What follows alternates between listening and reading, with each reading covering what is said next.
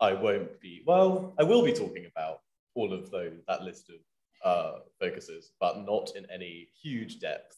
It's a slight sort of whirlwind um, tour of the Chapel Royal. Um, hang on, is that, that's better. There we go. Um, so as a political space, the Chapel Royal had two main functions.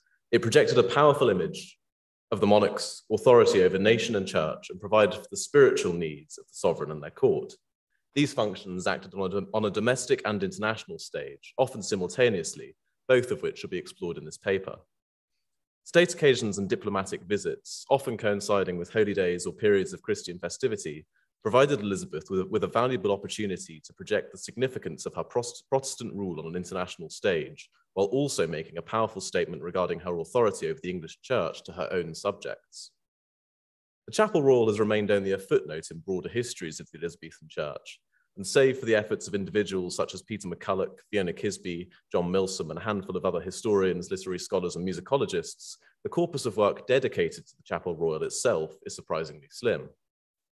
The Chapel Royal, capital C, capital R, was an institution, not a place, and was comprised, uh, and was comprised in Elizabeth's reign of 32 gentlemen, both priests and singing men, who attended to the monarch's spiritual and liturgical needs. Although they often celebrated the liturgy of, of the Elizabethan Chapel Royal and royal cha- uh, uh, uh, although they often celebrated the liturgy of the, Elizabeth, the Elizabethan church in royal chapels, these spectacular physical spaces were not the only places Elizabeth Chapel Royal was seen and heard. They accompanied her and other Tudor monarchs on a reduced number on progresses around the country, Less evidence survives of this, but it's important to bear in mind when speaking of the Chapel Royal and political space. As this map reveals, uh, the gentlemen of Elizabeth's Chapel represented a considerable geographic spread, with many serving their parish churches, cathedral institutions, or local mercantile life, their horizons were by no means limited to court. Although only one entry is found in this map for Wales, care must be exercised before jumping to conclusions, and some, some clarification should be provided. At least one gentleman came from Wales, Richard Morris, and a handful from the West Country, Bartholomew Mason and William Barnes. The North, meanwhile, is only linked by the parish work of one or two gentlemen. While it, appears, while it appears that no effort was made to secure a geographic spread by the Crown, it's perhaps testament to the political pull of the Chapel Royal, or perhaps the generous wages, that membership of Elizabeth's Chapel represented a considerable geographic spread, even if it's only a handful in the localities. When discussing political space in the Chapel Royal, religious controversies and liturgical practice are also necessarily considered, and it's in the Chapel Royal that we find further evidence to complicate ideas of exclusively secular space in early modern courts. Of the handful of accounts of services at Elizabeth's Chapel Royal that survive, James Bell's record of the christening of Edward, Edward Fortunatus, son of Cecilia of Sweden and Christoph II, Marquis of Baden, in the chapel at Whitehall, at which Elizabeth was godmother, is by some way the most detailed. This account will be drawn from throughout this paper, so a quick explanation of its context will help contextualize some of the conclusions I draw. The trip of two, two leading Lutheran potentates was, was, was, ostensibly linked to Elizabeth's proposed marriage to er-, Eric XIV of Sweden and to secure English aid in, in combating piracy in the North Sea. The trip was regarded as, uh, regarded as a success, particularly by Protestant commentators who saw great promise in the strong diplomatic links forged between two leading Protestant nations. While Bell, as a man with hotter Protestant sympathies, had much to gain from stressing Elizabeth's primacy in the ceremonial, other sources relating to the Chapel Royal, mentioned at various points in this paper, reveal that Bell's account was far from just propaganda. At Edward's christening, the chapel was sumptuously decorated hung with, cloth of, hung with gold cloth, the communion table crowded with expensive jewels and devotional items listed here, and lit with an astounding total of 83 lights, placed as lanterns on the roof above the communion table, between the organs and upper window, on the tops of stalls, and in the royal closet. It was in these areas of the royal chapel, the sanctuary, the stalls, and the royal closet, that were to form the primary areas of performance for Elizabeth, Edward, selected courtiers and councillors, and the priests and gentlemen of the chapel royal. By setting the liturgical stage like this, the congregation was given full view not only of the service, but their queen at, at specific moments in the liturgy. A comparison of the processions to the chapel highlights the nature of Elizabeth's projection of her own monarchical power. Edward was carried in a solemn procession from Bed Bedford House to Whitehall with his nurse, retinue, Roger Manners, Sir Henry Radcliffe, Lady Fitzwilliam, and the ladies of court. Once at Whitehall, Edward passed members of the Queen's Guard who held unlit tapers and was then carried to the vestry where he waited for the Queen. Where Edward is treated with the, with the respect appropriate to a foreign dignitary, the service was centered around Elizabeth's arrival. Once Elizabeth had word that Edward was safely in the vestry, she processed to her chapel closet. Quoting Bell, the officers of arms wearing their coats of arms afore her, and about her majesty was borne six tapers of virgin wax by six gentlemen. The service began with the gentlemen of the chapel singing and cornets playing. In this procession, echoing John, echoing John, John Adamson's concept of Eucharistic kingship, Elizabeth represented not just the secular office of kingship, but its sacred power too. Further, after Edward's baptism, Edward was taken to the vestry, while Elizabeth, the Archbishop, Archbishop, Archbishop of Canterbury and Duke of Norfolk, were ceremonially washed.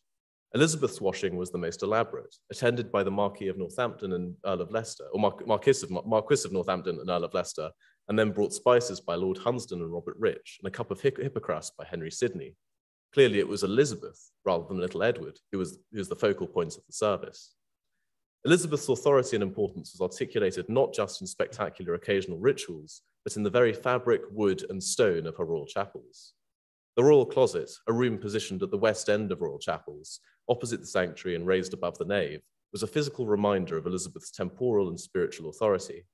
This was heightened by the presence of the royal arms above the window of the closet looking into the body of the chapel and the painted and gilt Tudor icons framing the queen. Coupled with the obscured or invisible body of the queen, this had the effect of symbolizing Elizabeth's presence in her royal chapel, even if she could not be seen by the congregation below. The closet was partitioned into the sovereign's closet and consort's closet, called here by the king's and queen's closet by MacCulloch. Um, the, the latter used by Elizabeth for favored courtiers and diplomats, and the former by the queen herself. By controlling access to the closet and thereby the royal body, the mystical power of Elizabeth's queenship was evoked and the hierarchy of court reflected. The experience of courtiers and noblemen of the Chapel Royal was not limited to participation in chapel ritual, but was reflected in the seating plan of the chapel. As revealed by a Jacobean record for chapel attendance, ladies sat in the choir pews on the dean's side and titled nobility sat on the other. The rest, members of court below the title of baron, gathered in the, gathered in the antechapel below the royal closet. The pulpit was also incorporated into this politicized space, positioned directly opposite, if below, the window of the royal closet. I don't have time to fully explore this here, but an authoritative, uh, uh an authoritative account can be found in Peter McCullough's Sermons at Court. But the fact that the pulpit was movable could be iconographically linked with the decoration of the rest of the chapel and Elizabeth's confident use of the closet window to interrupt, uh, interrupt patronizing or offensive sermons helped assert Elizabeth's authority in the one part of the Chapel Royal that did not fall directly under her control sermons. Perhaps more, per, uh, sorry, positioned literally and socially above her court, it is difficult not to separate the implications of Elizabeth's spiritual and, and, and, temporal authority and the hierarchical order below into a broader message of God's approval of Elizabeth's rule. In 16th century eyes, the natural social order of court, a microcosm of the country, was seen to be working perfectly, supplemented with beautiful music and sumptuous furnishings, along with a distinctly English and Protestant liturgy. The liturgy of the Elizabethan Chapel Royal is, after its music, its most famous aspect, and certainly the most controversial. The cause of this controversy, controversy was how elaborate services were. Compared with English parishes and the Genevan example favoured by a number of Elizabeth's churchmen, services in the Elizabethan Chapel Royal certainly looked and sounded closer to pre Reformation practice. There is, however, a significant caveat to be found here. In broader surveys of the Elizabethan Church, such as Professor MacCulloch's Masterful, the Later Reformation in England, the Chapel Royal is the conservative liturgical cuckoo in the nest of the Elizabethan Church, a haven for stubborn Catholics. This description echoes many of the musicological and historical interpretations of the Chapel Royal made throughout the 20th century, that by the alleged performance of Latin and the presence of devotional objects such as the gilt crucifix, Catholics both at home and abroad were made to feel the Elizabethan Church, or at least the Chapel Royal, somehow more accommodating.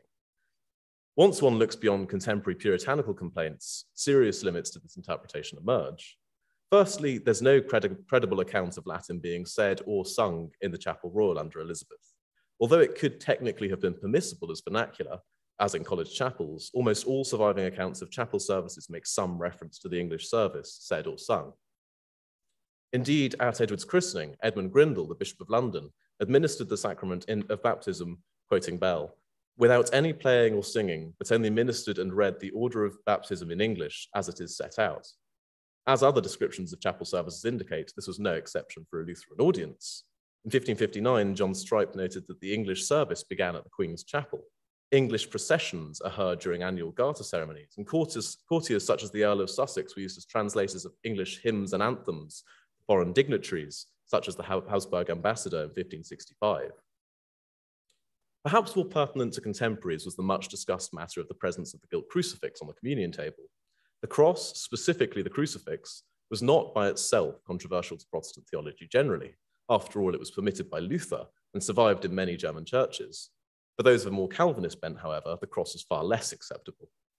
The crucifixion could not be depicted so long as, uh, uh, sorry, the crucifixion could be depicted so long as it was clearly a historical event and not a point of devotion. The controversy then in the minds of, of the reformers was not necessarily that Elizabeth's fondness of the crucifix indicated her own Catholic position. Richard Sampson understood Elizabeth's position on this matter to be much closer to that, to that of the Lutherans, but rather that the potential veneration of the crucifix set a precedent for Catholics and conservative Protestants around the country to set up crucifixes in their parish churches and private chapels. The matter of the crucifix reached a boiling point in 1560 when a disputation was held to discuss the presence of religious images and crucifixes in the, in the, in the Elizabethan church, which the iconoclasts won. Despite the unauthorized removal or destruction of the crucifix and candles from Elizabeth's chapel in 1562, 1565, 1567, and 1570, they were restored again each time. And by 1586, that foul idol, the cross, stood on the altar of abomination, in the words of William Fuller. It's unclear whether the candlesticks either side of the crucifix were lit after 1570. This certainly would have, uh, 1560. This certainly would have indicated to some Protestants the, that the icon was historical and not devotional. However, in the 1601 communion service, the, the crucifix appears between two evening tapers, the implication being that they were lit. The crucifix and candles assumed a close relationship with the Queen's person and could be read to represent her authority over the chapel, as on the occasion when two candlesticks and two tapers burning stood on the communion table behind William Barlow as he gave a sermon at Whitehall on the 24th of March, 1560, while the Queen was absent. The, associate, the association between Elizabeth and her precise Protestant beliefs was thus made early on, and at least regarding the crucifix, changed little throughout her reign. In the face of Puritan apoplexy, Elizabeth stood her ground. Her theological views were held with a conviction befitting the governor of the Church of England. The patronizing tone and dreary didacticism of Sampson, Jewel, Sandys, and Grindal in the 1560s attests to that. Not only is, Elizabeth underestimated by assumptions of uh, accommodation, but Catholics too, one crucifix does not a mass make. Despite descriptions of the Chapel Royal as a place for stubborn Catholics and implications of religious accommodation, very few known Catholics are identified among the ranks of Elizabeth's gentlemen. William Byrd was the only known Catholic who received any form of protection, and even this was in, in the form of protection from recusancy fines due to a complex network of charisma and powerful Catholic patrons. The others comprised of two religious, religious exiles and the uncertain relig religious conservatism of Thomas Tallis. While there is a certain eagerness by some musicologists and Jesuit historians to read Catholicism in every corner of the compositions of the Elizabethan Chapel Royal, this remains largely conjectural. Diplomatic readings of the Elizabethan Chapel should not be, uh, should not be entirely dismissed. There is great value in looking at a European stage. However, by re recalibrating things to emphasize Elizabeth's Protestantism, a rather more interesting avenue of exploration emerges. As, Edward, as, Edward's christening illustrates, conversations could and did emerge between the typical ornate decoration of majesty and Elizabeth's Protestant faith. An interesting example of this is found in the christening. Behind the communion table hung a tapestry depicting pelicans, as Bell tells us. The pelican, to the early modern mind, represented a Christological illusion based on the widespread belief that pelicans, who are always sort of significantly gendered as female, revived their young by pecking open their own breasts, selflessly nurturing their children just as Christ selflessly nurtured man in his life and crucifixion, or the ideal Christian monarch nurtured her state. This theme was utilized by Elizabeth in 1575 in her famous pelican portrait, which is shown here, though it's perhaps not inconceivable that the same, same illusion was used in the christening of a crown prince of Sweden to whom Elizabeth was godmother.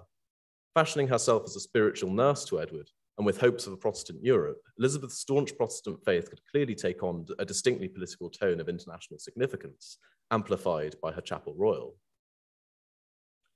When we look at Elizabeth's chapel as a distinctly Protestant space, where Elizabeth's authority was pronounced and projected to both our court and wider Europe with little variation, we take a step closer to understanding the experience of the, of the religion and the politics found in, in the post-Reformation English Chapel Royal. Further, if one is to take the political dimensions of Elizabeth's Chapel Royal seriously, one also has to take Elizabeth's religion seriously. Elizabeth's decision to obscure elements of her beliefs have led to broad applications of the word politique, as listeners to Professor Susan Doran's lunchtime lecture here at the Society of Antiquaries heard, this was part of a wider re-examination of Elizabeth's role.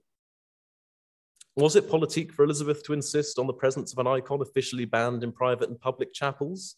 As I hope this paper has indicated, this is not quite the question to ask.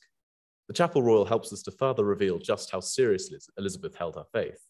It's only by drawing from the approaches utilized by historians interested in secular ritual and looking beyond the complaints of hotter Protestant commentators towards the extant source material of a musical, literary, architectural, and prosopographical nature that we might find a clearer picture of the importance that the Chapel Royal had to the English court of the 16th century.